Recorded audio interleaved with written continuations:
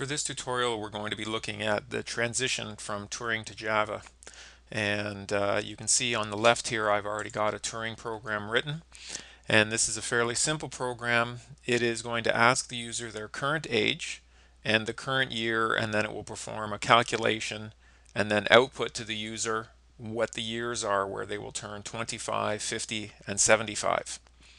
So this is a program covering input. We're going to ask the user some questions and we're going to enter those values into variables. Some simple processing. We're going to do some simple calculations, just some simple arithmetic, and some output. And I'm going to show you a couple of different ways to accomplish the input and output. So if we take a look at our program, we've got some variable declarations here, a, a couple of different types of variables, a couple of integers, string, and then a few integers here. You can see when you declare your variables, you can either declare them one line at a time or you can declare them all on one line so long as they are the same type. Then we ask the user their name. Because it's a string, they might enter a space. They might give us first name and last name. And so I do the colon star to allow for the space. You can see here I've used the dot dot notation so that this input of age occurs on the same line as this question whereas for this one the name would have been on a different line. My calculations, those are straightforward enough. Just want to point out to you that in Turing we use the assignment operator colon equals in order to put a value into a variable. And I do that three times here.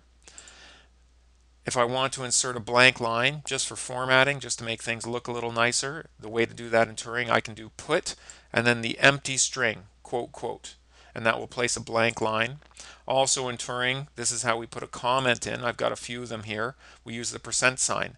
You can either do it on a line by itself, as I did here and at the top of the program, or you can actually append it to the end of a line if you want to comment a particular line of code. With my output statements, I can also I can string together or I can combine together strings and variables. And I can do that two different ways. I can use the dot dot operator to join these lines together onto a single line, or I can use the comma to separate out different things that I want to print on the same line. So here is a string that I want to print on that line. I also want to print this variable. I also want to print this string, also this variable, also this string, and also this variable. So you can see in this single line, I've combined six different items. And I'm going to show you how all of these things are going to translate over to Java. Now when we create a Java program, the first thing that's going to be very different is the structure of the program. Whenever you're going to create a Java program, you need to have, and it has to be written exactly like this, class, the word class, lowercase c, and now the name of your program. And this is going to be the same as the name of your file. So this is called the class name. So we're going to do a Turing to Java IPO tutorial. Then you need a curly bracket to open. And it's not a bad idea to always do your pairs of curly brackets at the same time. It's up to you. And then you can see that I have this pair of curly brackets and I'm going to start writing in between them. The next thing you need, public static void main open round bracket, not a curly bracket, round bracket, string, square, open square bracket, close square bracket, args, and then close my round bracket. I don't want, I'm not going to worry too much about why those things need to be there for now. For now, just accept the fact that it's structure and it needs to be there. So there is another open bracket, close bracket. So my program is actually going to go in this location. And you can see in Java, the single line comment instead of a percent sign is a double slash.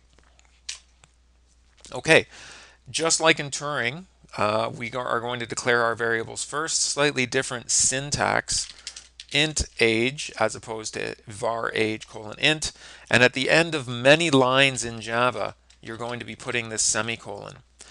Uh, I wish I could say it's all lines. Unfortunately, it is not. There are rules associated with it. And as you work through Java, hopefully you'll start to become more familiar with those rules. So we've got int age, we've got int year, we have string. Now string requires a capital letter. and that's a departure from Turing. The variables int, those are known as fundamental data types. Um, they're built right into the programming language. A string is a complex data type, and complex data types in Java will have capital letters on the front of them. So again, that's just something you'll get from experience. Uh, you'll probably make some mistakes with, especially if you're doing another language first, such as Turing. You can also declare variables on the same line. So I can say int year 25, year 50, and year 75. Still need the semicolon on the very end of that line. Now, I wish we had something as simple as put, but we don't. In Java, it's system.out.print line, print ln. And then we can ask our question, what is your name? And semicolon on the end of this line. There's a lot of overhead in Java. The system.out.print line has to have a capital S on the front. And now we are actually going to use a custom uh, way of doing input. Uh, the input in Java is even more difficult than all of the stuff that I've shown you so far. So I've provided you the in class, uh, and that's a library of input. So when I want to input the person's name, I say name equals in dot get, and in this case, I'm going to get a string. Open round bracket, close round bracket, and a semicolon. So this equal sign is the same as the assignment operator over here in Turing. So there's another difference. So we've got the assignment operator in Java is a single equal sign. I'm saying get this input from the user and whatever the user types in after they hit the enter key, store that in the variable name. Also note that in Turing we had to put a colon star on the end of our input line for strings to make sure it accounted for any spaces. In Java and in most languages, a space is part of a string. So if you do an input, it's going to assume this, the spaces are part of the string. Now we can also do this on a single line. Here I use the dot dot notation to put this on one line. To put this on a single line in Java, we do system.out.print. We don't say print line. The print line, the ln on the end of this, puts it onto a new line. So it will type out or it will display this string and then it's like you hit the enter key. Then it will proceed to the next line. If you do a print, then it won't proceed to the next line. It will wait on this line either for another output or for user input.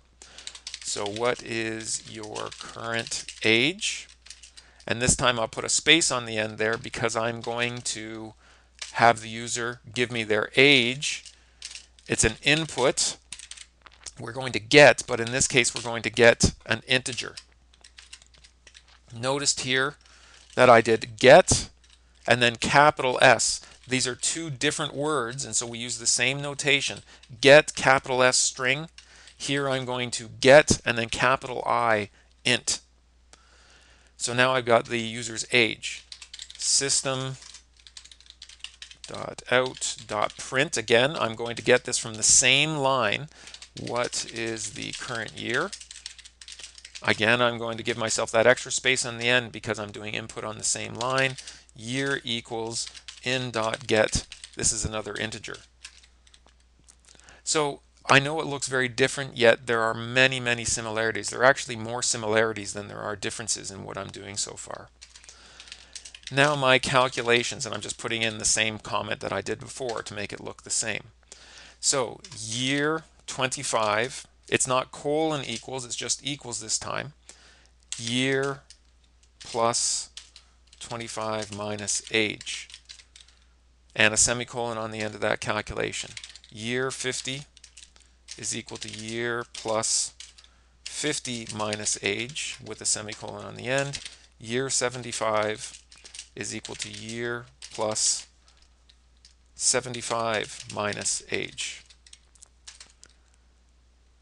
Now, what about putting in a blank line, as I say over here on the left? Insert a blank line. So the way that I do that is I do a system dot print line, open bracket, close bracket. That's it.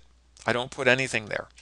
If you try to do it the same way you would in Turing and actually put a quote there as well, that'll work just fine. But you actually don't even need the open quote, open quote, close quote. Now, system.out.print, and now notice here I use the dot dot. The equivalent in Turing, or the equivalent in Java for the dot dot, is the print statement. So I do hello space, and then close that string. System.out.print and again I'm using dot dot. And now I put the variable name. And system.out.print now in this case notice this last line doesn't have a dot dot on the end. And that's because once you're done writing this I should have put a period here once you're done writing this you want to go to the next line the same thing is true over here so I finish it with a print line, comma space, I will tell you the years when you will be 25, 50, and 75.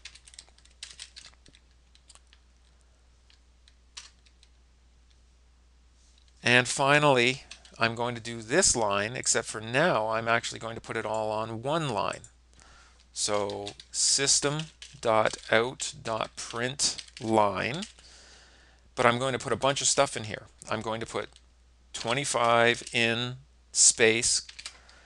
Now in Turing, you would put a comma here to join them, but in Java that will fail.